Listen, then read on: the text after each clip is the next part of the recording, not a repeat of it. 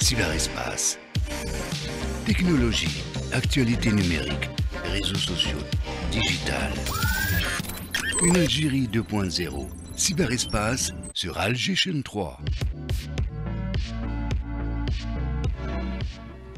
Avec nous, Hakim. Sami Aloun, bonjour. Bonjour Hakim, bonjour Soraya. Bonjour. Alors ce matin, nous allons parler de ces publicités intrusives. Des sites web sur lesquels on pouvait naviguer gratuitement, qui se retrouvent inondés de pubs, généralement d'enseignes qui encouragent ou qui financent la machine de propagande sioniste. Des services en ligne connus pour être gratuits changent peu à peu leur politique d'utilisation pour aller vers du premium, du deluxe, en bref, en obliger l'internaute à payer pour profiter d'une expérience qui avant était 100% gratuite. Un argument marketing utilisé lors du lancement de plusieurs services, que cela soit Facebook, YouTube ou autres plateformes, le nombre de publicités était assez modéré, l'utilisateur pouvait alors profiter du service sans trop d'interruptions, sans spam, sans publicité intrusive. Une politique qui change pour plusieurs raisons, d'un côté c'est cette course pour financer les influenceurs et créateurs de contenu, chaque plateforme vidéaste tente d'attirer le maximum de créateurs en leur proposant des programmes d'accompagnement, de sponsoring.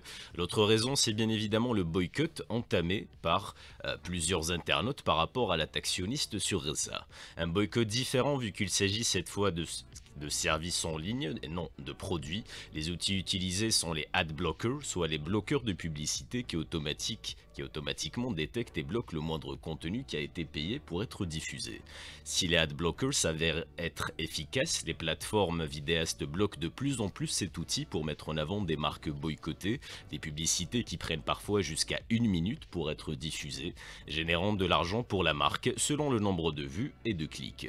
Des spots publicitaires qui ont également servi à la propagande sioniste voulant à tout prix donner une mauvaise image sur la résistance, palestinienne. La note positive, c'est qu'à force de combattre les ad-blockers, les bloqueurs de publicité, ça a servi à les rendre encore plus efficaces, plus performants pour bloquer toute publicité, notamment dans le contexte actuel où beaucoup de contenu publicitaire est synonyme de financement de l'occupation sioniste.